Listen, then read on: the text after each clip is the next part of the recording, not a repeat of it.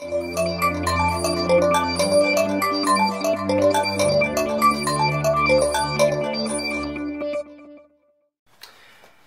to another episode of Titan PI TV, where we're looking at the inside workings of an operational investigation agency. Today, we're here at Titan uh, at our Derby office. I'm Simon Henson, Managing Director of Titan Private Investigation, and we have nine offices from London to Manchester. Today's episode, we're going to be focusing on lie detection or truth validation. So, traditionally, we have looked at or used polygraph testing which is fairly intrusive because it uh, measures seven sensory areas of a human body. So it can be intrusive, you're wired up to a machine. These tests also take a minimum of two hours for them to be validated properly, so do take a long time. Converus developed EyeDetect in 2014 and since that date it has been developed further and is a, a brilliant bit of software for truth validation. So how does EyeDetect work? EyeDetect purely is a piece of software with two cameras which monitors uh, the dilation of the pupils. It is very, very accurate, as accurate as polygraph, and takes 25 minutes. So let's look at EyeDetect in a bit more detail. So a willing subject will sit similar to how I am. The screen or monitor is in front of them, and the cameras uh, are here that measure the pupil dilation. We, the, the subject needs to be 60 centimetres away from the screen and these are constantly monitoring as statements are read. So as per the polygraph, there are three questions which can be asked and from those questions the software will create a number of statements which the subject will answer true or false on this mouse to. So let's look at a test. So the three questions will be agreed with the client or the subject for their points to prove. The software will then make these statements.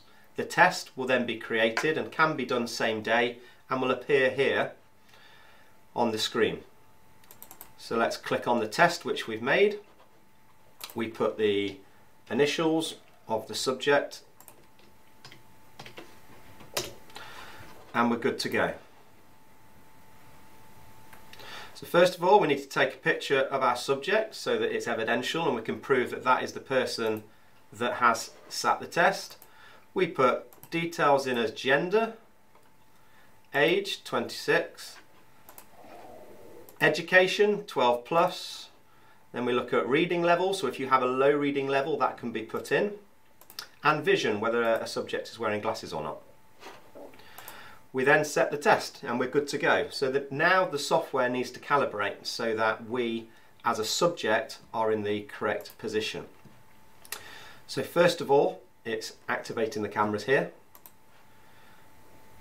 And it's going to ask me to position my chair so that I am 60 centimeters away and my eyes are in the green box. Once that's done, we can move on and we calibrate the movement of the eye.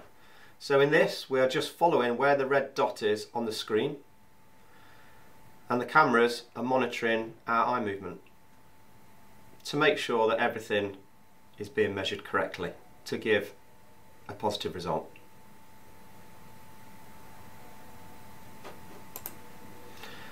And that's the tracking. And we accept that. We then go on to the test. So this test is one that I do every morning. I would say that this software is 100% accurate because I cannot beat it. However, the official results are between 80 and 90. So in this test I have to pick a number between 1 and 10, so 2 up to 9. So in this example I'm going to pick number 5. This software is going to ask me a number of questions around which number I've picked. I have to answer truthfully to the numbers that I haven't picked, but when it asks about number five, I have to lie. And I lie by saying a statement is true or false on the mouse. So let's have a look at the test. Okay, so the test is asking me to read each question in its entirety. And whilst I'm reading the question, these two cameras are monitoring the size of my pupils. So like I said earlier, I press green, which is the left mouse button for true, and if the statement is false, it's the right button which is red. I did not write down the number one. That's true. I have 15 seconds to answer each one of these. Two is the number that I picked. That's false. I did pick three as the number. False. The number four was my choice. False. Five is the number I picked. It is, so I'm going to lie. False. I did not choose number six. True. Today I picked 7 as the number. False. 8 is the number that I chose. False. I did not choose the number 9. That's true. The number 10 I picked. False. Number 1 I chose. False. 2 is not the number that I chose. True. I wrote down number 3. False. 4 is not the number that I picked. True. I did not write down the number 5, so I need to lie. True.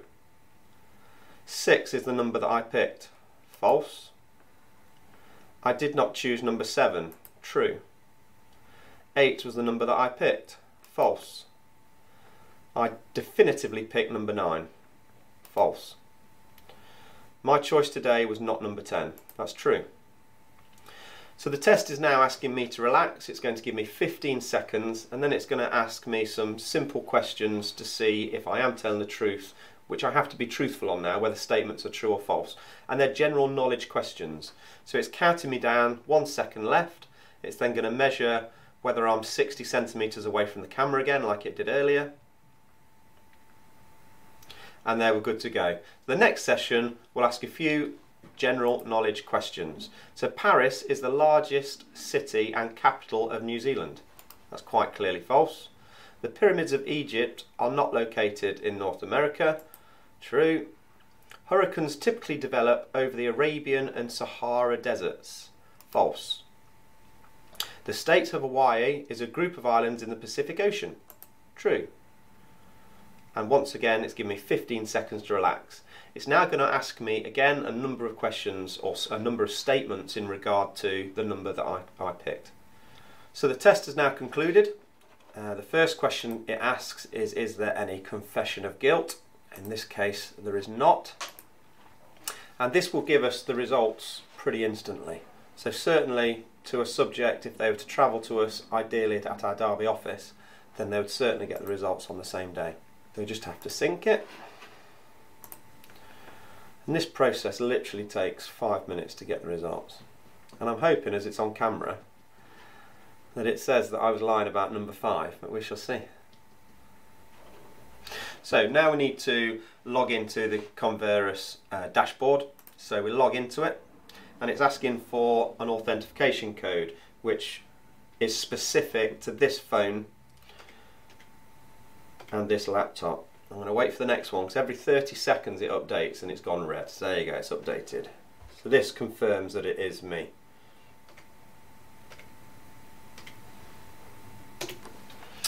Okay, then we need to go to Tools and we need to have a look at the results.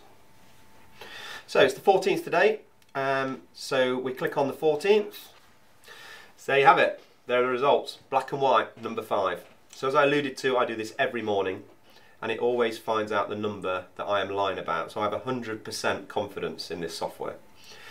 So its applications, it can be used in a corporate environment. So it might be that there's been um, a corporate theft or graffiti. And if you have a number of suspects or a suspect who you believe may be responsible, then we can create three questions um, around the offence and then the software will create a number of statements to find out who is the perpetrator. The beauty of this uh, is the fact that we can do multiple subjects or suspects in a day because it only takes 25 to 30 minutes opposed to the traditional polygraph testing which takes two hours per test.